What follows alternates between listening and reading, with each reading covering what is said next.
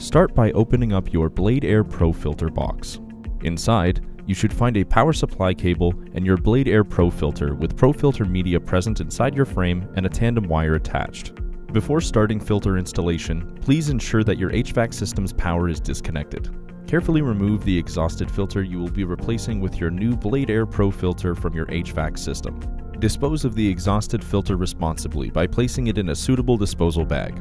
Before inserting the Blade Air Pro filter into the HVAC system, connect the power supply cable to your filter. If you are installing multiple Blade Air Pro filters into the same system, use the tandem cable to interconnect them. This ensures synchronized operation and enhanced filtering capabilities. Gently place the Blade Air Pro filter into position within your HVAC system in the correct orientation with the power supply bar facing upwards.